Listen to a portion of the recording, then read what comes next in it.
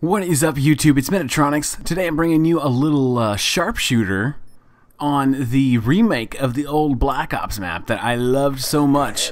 Uh, this is uh, this map is a lot of fun. In this game, I have a little bit of a rough start, but then I absolutely dominate. It's ridiculous how much domination happens uh, here in just a few minutes. I get like a handful of deaths right here at the beginning, uh, and then just a, another handful dispersed through the rest of the uh, the match. But good grief, do I absolutely destroy this entire lobby!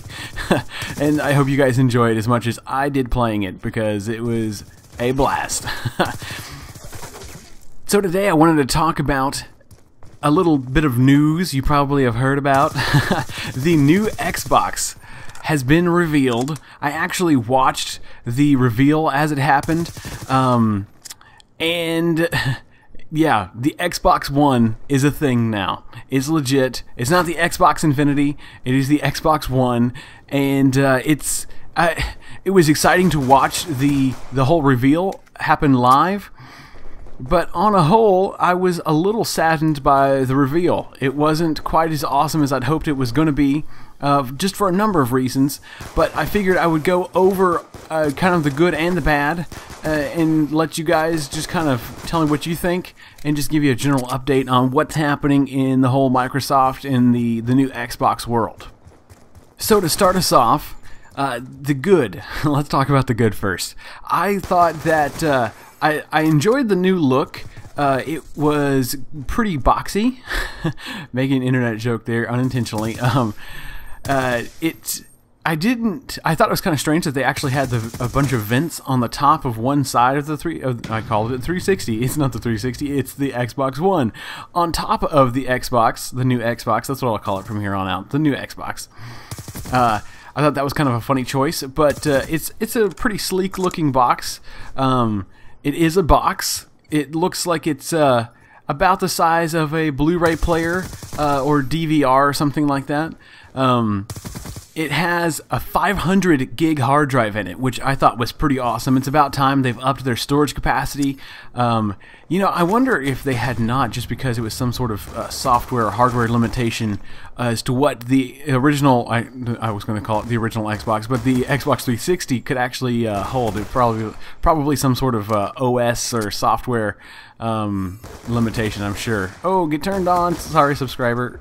Sorry, very kawaii. Um, but uh, so that was that was really awesome. I thought that the 500 gig hard drive was a finally oh headshot through the wall. Um, yeah, it's just kind of one of those finally moments. it's it's about freaking time, and so uh, that though made me a little suspicious as to what you needed the 500 gigabytes for, which. Uh, there's been some other news that I've kind of found out, but I'll talk about that maybe in another video or even at the end of this one. But um, Let's see, what else? Uh, it looks like the controller has been redone. Uh, they kind of rearranged the battery situation and everything, which I thought was a good idea.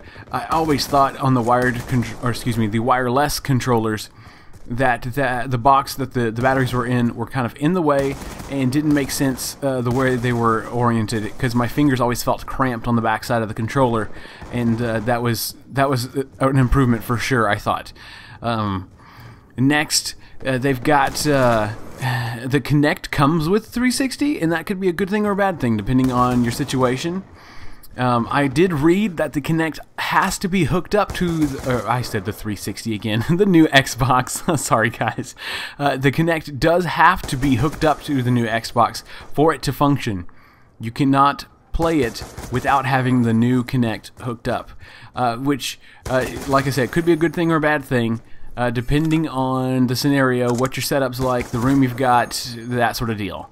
Um, I'm sure there's got to be a way that you can turn off voice commands if you don't want uh, that getting in your way, and uh, so that that's a good thing or a bad thing depending on what what you what your what your situation's like. But so.